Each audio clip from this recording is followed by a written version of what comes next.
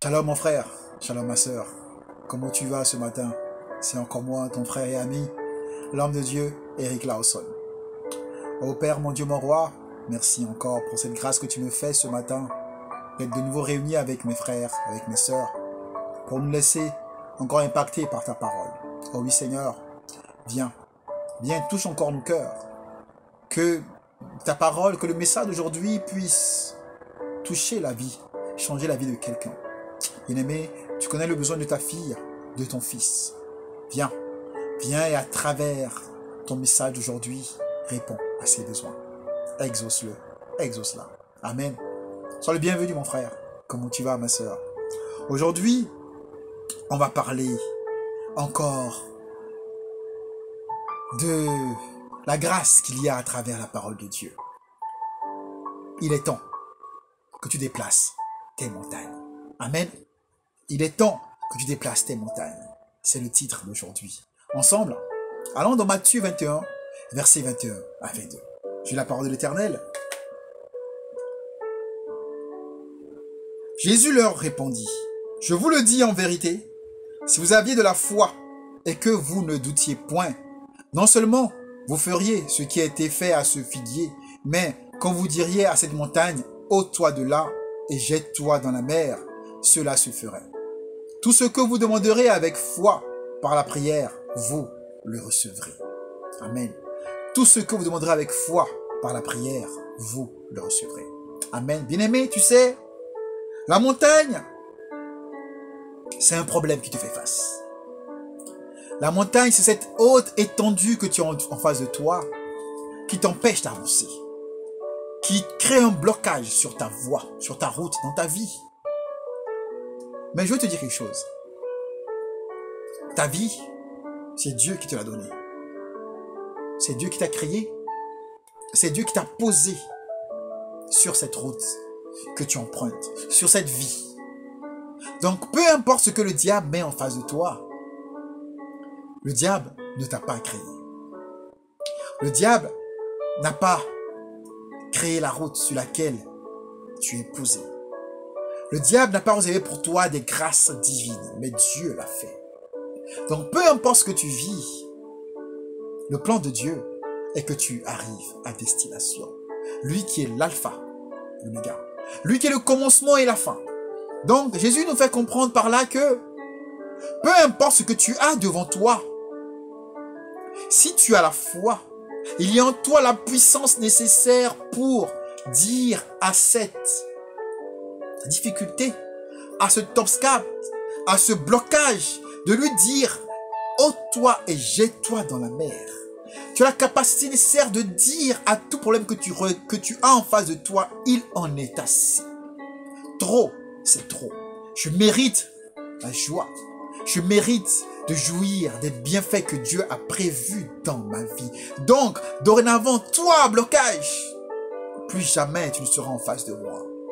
Tu as la capacité de dire cela. Que toi, difficulté, aujourd'hui, par la foi, je déclare que cette difficulté-là n'existe plus. Oui. Tu peux y arriver, bien-aimé. Comprends juste que tu appartiens à Dieu. Ta vie appartient à Dieu. Ta destinée appartient à Dieu. Donc peu importe ce que fait l'ennemi, Dieu qui t'a créé a prévu pour toi de grandes choses. Dieu qui t'a créé t'a destiné à faire de grandes choses, car c'est un grand Dieu. Oui. Toute difficulté que tu as devant toi, tu peux l'ôter de ta vie. La stérilité, mais à ta création, Dieu a déclaré sur toi des paroles de fécondité. Donc tu es appelé à être fécond. Dieu a dit que tu dois multiplier. Tu es appelé à multiplier, mais est-ce que tu y crois vraiment? Tu es appelé à dominer? Tu es appelé à assujettir, mais est-ce que tu y crois vraiment? Si vraiment tu y crois, avec cette ferme assurance des choses que tu espères, cette démonstration de celle que tu vas voir, déclare déclare et enlève tout blocage de ta vie. Tout blocage qui t'empêche d'avancer, déclare et dit, il en est assez. Il en est assez. Je dois rentrer dans ma destinée. Ce que Dieu a prévu pour moi doit s'accomplir. Donc tout blocage, jetez-vous, ôtez-vous et jetez-vous dans la mer et ne revenez plus jamais. Amen. Il est temps, bien-aimé, que tu prennes tes responsabilités. C'est ta vie. Ce n'est pas la vie du diable. C'est ta vie. Cette vie que Dieu t'a donnée pour sa gloire. Il est temps que tu agisses, que tu poses des actes, que à travers toi on voit la gloire de Dieu. Il est temps que tu déclares avec foi que tu dois rentrer dans tes grâces, qu'on doit dorénavant voir à travers toi la gloire de Dieu, dans tes actes, dans tes paroles. On doit sentir que oui, Dieu est avec lui. Emmanuel. Il est temps que ça se fasse. Bien-aimé, donc là où tu es, je t'invite à prier, à déclarer avec foi des paroles sur toi. Je t'invite à parler à tes montagnes, à les déplacer une à une, à les jeter loin de toi dans la mer. Je t'invite, bien-aimé, à rentrer dorénavant dans tes grâces. Tout ce que Dieu a prévu pour toi est pour toi.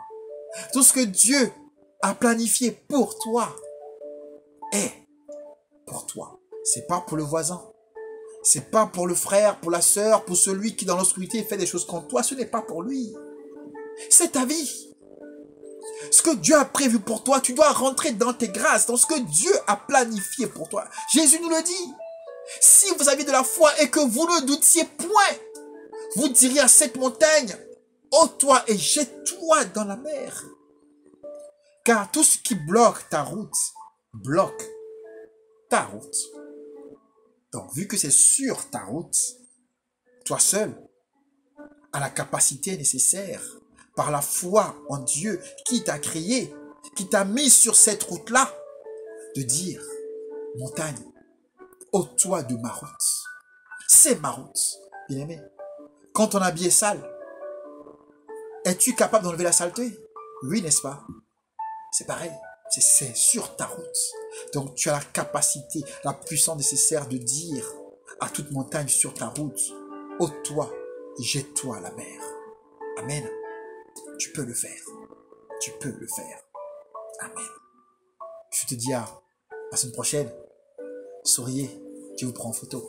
Shalom.